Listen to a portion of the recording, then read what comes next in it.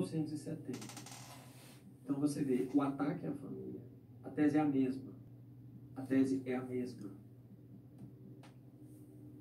Então, e ela fala sobre o tabu do incesto, tal como Max Horkheimer, Escola de Frankfurt, 1936.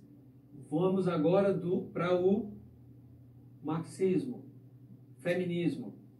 O que, é que ela diz na mesma obra?